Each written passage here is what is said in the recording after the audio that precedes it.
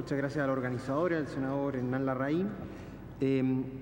la verdad es que primero una advertencia, eh, la idea de esta exposición y del power que vamos a mostrar es, eh, era básicamente eh,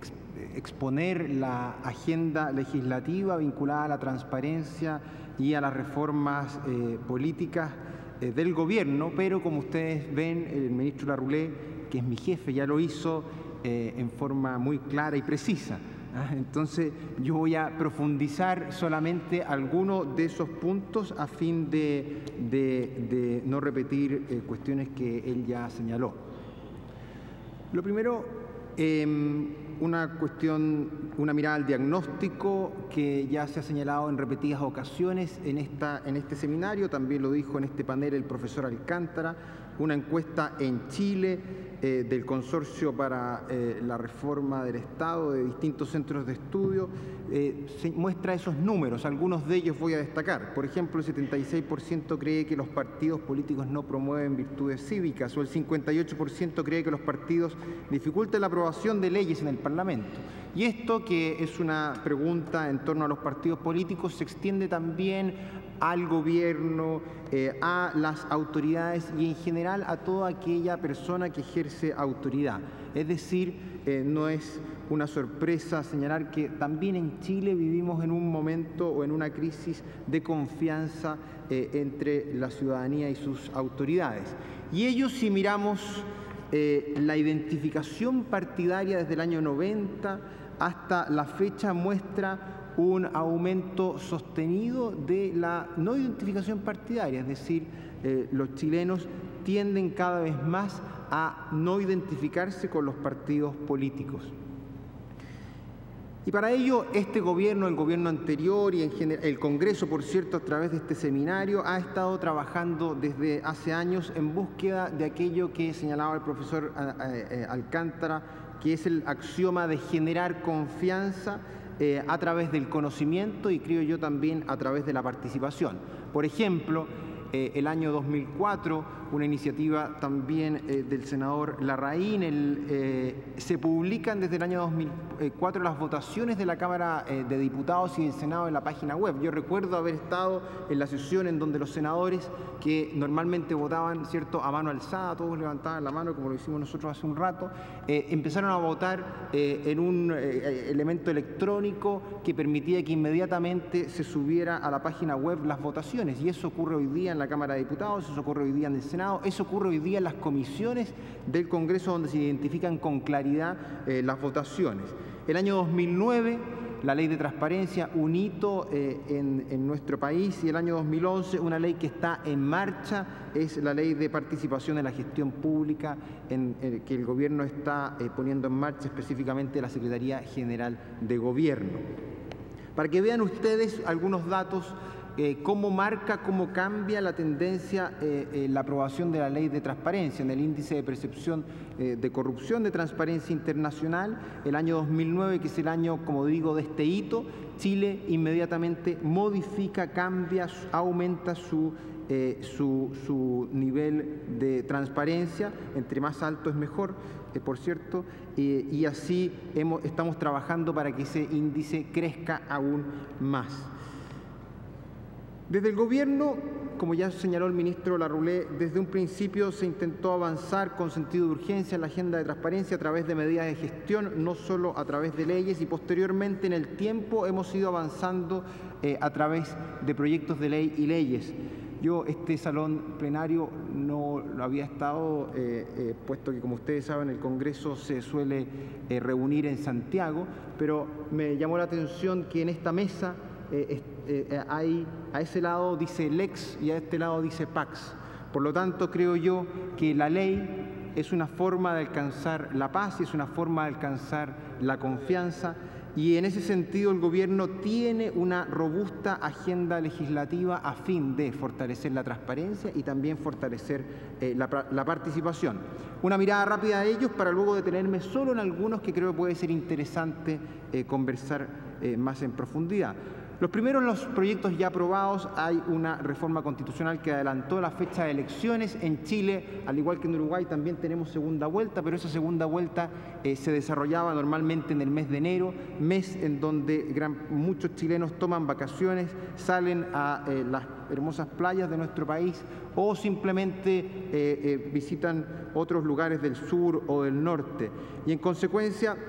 parecía razonable para fomentar la participación y más todavía en un contexto de voto voluntario, eh, llevar las elecciones a los meses en donde los chilenos están normalmente trabajando, como es noviembre y diciembre. Otro proyecto ya aprobado y que va a aumentar sustancialmente la eh, participación es la inscripción automática, eh, que también permite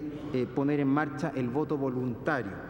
A su vez, proyectos en trámites, ya los mencionó el ministro Arrulé, las primarias, los plebiscitos comunales. Yo suelo mencionar en los plebiscitos comunales hay dos cosas que me parecen muy interesantes. La primera es que hoy día, eh, en materia de plebiscitos comunales en Chile, están prohibidos los plebiscitos comunales el mismo día de una elección. Y así, por ejemplo, si es que eh, los chilenos eh, concurren a votar eh, por parlamentarios o por presidente no pueden en ese mismo acto participar en un plebiscito comunal o en una consulta eh, comunal. Pues bien, el proyecto que está en el Congreso y que ya aprobó el Senado elimina esa restricción y permite que, eh, que dado que la ciudadanía concurra a votar por ciertas cuestiones nacionales, sean elecciones parlamentarias o elecciones presidenciales, puedan también en ese mismo acto eh, votar por una decisión comunal. Y a su vez también eh, eh, disminuye restricciones. Ustedes hoy día en Chile em, antes de las elecciones, eh, bastantes horas antes de las elecciones, cierran las botillerías, cierran los supermercados, cierran los bares, los pubs, por lo tanto eh, los jóvenes no podemos, eh, y no solo los jóvenes, sino que cualquiera, cualquier persona, por cierto, no puede en fin, participar en ese tipo de actividades tan legítimas, ¿no? Pues bien, con esta ley de plebiscitos comunales, y lo que pasaba, perdón, lo que pasaba era que si había un plebiscito en una comuna, esa comuna tenía que eh, someterse a todas esas restricciones y la comuna al lado, por cierto, no lo tenía. En consecuencia, de esa forma, el proyecto de ley también aprobado por el Senado elimina esas restricciones e intenta bajar las barreras para organizar eh, este tipo de plebiscitos. El proyecto de ley, en tercer lugar, de probidad en la función pública, de, eso, de ello me voy a referir más adelante, una moción que modifica la ley de transparencia y que el Gobierno eh, está junto con el Consejo para la Transparencia haciendo indicaciones a fin de perfeccionarla, la elección directa de los consejeros regionales eh, y proyectos en estudio que, como anunció el ministro Arrulé, ingresarán prontamente, la ley del lobby y la reforma a los partidos políticos. Toda esta agenda legislativa que eh, creo es robusta, tiene básicamente un sentido y ese sentido es incrementar la confianza en nuestras instituciones y contribuir de esa forma a consolidarlas y fortalecerlas, porque la democracia se funda, que es un eje prioritario para el gobierno, se funda también sobre la base de las confianzas en las instituciones entre las personas. Y para eso queremos hacer más participativa y más transparente eh, nuestra democracia y nuestra participación. Y para ello, para mostrarles lo que podría ser una proyección de eh, la participación ciudadana en actos eleccionarios, si es que estos proyectos son aprobados, como creo yo va a ocurrir, les muestro este gráfico o estas, estas barras. Si ustedes miran las cantidades de elecciones en las que los ciudadanos participamos o participaron entre 1989 y el 2009 son 24. En cambio, si es que se aprueban los proyectos como las primarias, como la elección de cores, etcétera, entre el 2012 y el 2032 ese número crece sustancialmente a 54, es decir, va a haber más participación si es que la agenda del gobierno eh, eh, se concreta como espero que ocurra y como está avanzando en el Congreso, más votaciones, etcétera. Eh, brevemente referirme a algunos de estos proyectos de ley. El primero es el proyecto de ley sobre la probidad en la función pública, ya lo mencionó el ministro Larulé, básicamente lo que hace es regular dos materias. La primera es la declaración de patrimonio e intereses. Hay ahí una primera rendición de cuenta, escrutinio para las autoridades y se... Eh, aumenta en forma considerable aquello que se debe eh, eh, declarar. También, eh, de un modo novedoso, se agregan a la ley personas que trabajan en la administración pública como ciertos funcionarios honorarios, que para quienes no conocen la terminología, son personas que no están en la planta de la administración, sino que son más bien que, que trabajan transitoriamente en la administración pública y también van a tener que hacer eventualmente una declaración de patrimonio de intereses. Y así ocurre lo mismo con la actualización que, ella debe, de, que de ella debe hacerse, eh, el que hoy en Chile es simplemente al terminar eh, las funciones y también nosotros estamos incorporando la posibilidad de actualizarla cuando ocurra un hecho relevante. Respecto a lo que se debe declarar, hay una serie de nuevas materias que se deben declarar para así, con total transparencia, mostrar aquello que los intereses eh, de las autoridades y los servidores públicos eh, y, eso permitirá, como señala la OSD con total claridad, que esta sea la mejor forma de escrutinio y fiscalización eh, de las autoridades. Eh, no voy a detenerme en cada uno de esos casos, puesto que el, tiempo apremia, pero lo cierto es que estamos creciendo en aquello que debe declararse a fin de que, si es que hay conflictos de interés, sea la propia ciudadanía quien lo determine y quien pueda conocer con total transparencia estas materias. En materia de responsabilidad y sanciones también se modifica eh, la regulación, así como las autoridades obligadas a declarar que también se aumentan, no solo para las autoridades eh, eh, que son parte del Poder Ejecutivo, sino que también de otros poderes. En el mismo proyecto de ley que avanza, como se ha señalado, con un amplio acuerdo en el Congreso, se crea y se introduce por primera vez el mandato de administración de valores, es decir, que ciertas autoridades ahí enumeradas, el presidente, los parlamentarios, los ministros, el subsecretario, los jefes de servicio, los intendentes, gobernadores, consejeros regionales y alcaldes, en ciertas circunstancias tienen que entregar la administración de sus valores a un tercero y generando una muralla china entre esa administración de los valores y el ejercicio de la función pública. Y en otras circunstancias excepcionales, como lo mandata la Constitución desde una reforma constitucional del 2009, también están obligados a enajenar ciertos activos eh, que pueden eh, contribuir a una eh, o a, causar un conflicto de interés. Esta, esta regulación es sin duda o va a ser sin duda un paso profundo en la transparencia eh, y principalmente en eh, la confianza, creo yo, de los ciudadanos en el ejercicio del poder por parte de sus autoridades. Posteriormente, señalar el trabajo que estamos haciendo y que con este seminario, por cierto, va a tener que ser actualizado a los estándares que aquí se han planteado en materia del lobby. Eh, el gobierno tiene proyectado avanzar eh, eh, en la agenda, en la discusión en torno al lobby, recogiendo lo que ya se ha discutido en el Congreso, eh, pero fortaleciendo principalmente la transparencia de esta actividad que se realiza por diferentes grupos de interés y personas naturales a través tal vez del mecanismo más importante, de nuevo, que es la transparencia. ¿Y la transparencia de qué? De la agenda de la autoridad, de ciertas autoridades, por cierto, para que de esa forma se conozca no solo las reuniones con aquellos que se denominan lobistas, sino que también con aquellos que ejercen eh, funciones o, eh, eh, hacen gestiones de interés privado a fin de que la ciudadanía conozca, las conozca y sin ánimo de prohibirlas y de alejar completamente a la autoridad de los intereses de las personas, sino que simplemente demostrarlas y transparentarlas. En la misma línea,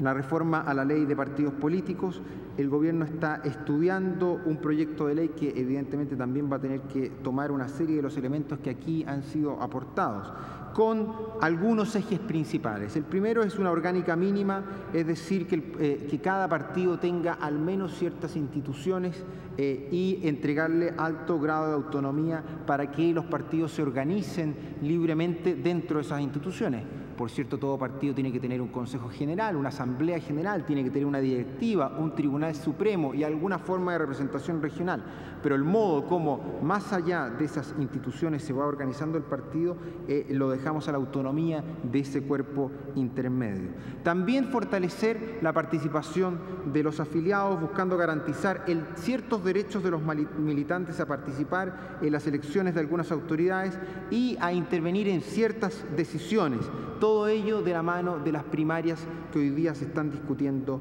en el Congreso. En la misma línea, mayor transparencia y publicidad de información de los partidos políticos, exigirles ciertas normas de transparencia activa y eventualmente ciertas normas de transparencia pasiva en favor de sus militantes. Asimismo,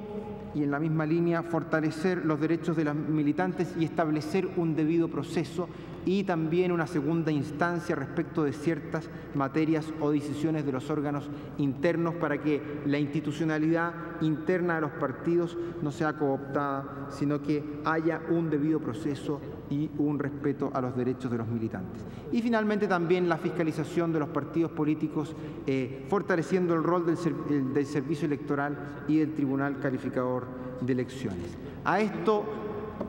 lobby, partidos políticos, probidad en la función pública, declaración de patrimonio e intereses, se suma lo que ya hemos hablado de inscripción automática y voto voluntario, y que en aras del tiempo no me voy a detener, pero simplemente destacar que hoy los ciudadanos, o mañana los ciudadanos van a participar en las elecciones ya no por mandato de la ley, sino que por un deber cívico, por, una, por un casi mandato eh, moral, por una virtud cívica que está tras esa participación y creemos que eso también contribuye a fortalecer la confianza en la política y en los políticos. Lo mismo en las elecciones primarias, donde los ciudadanos participan desde el inicio en la designación de los candidatos y otros proyectos de ley a los que ya me he referido. Con esta agenda, en consecuencia, eh, que toma Lex que toma los proyectos de ley, aspiramos eh, a que en el corto plazo la confianza en las instituciones, es decir, la PAX, se fortalezca. Muchas gracias.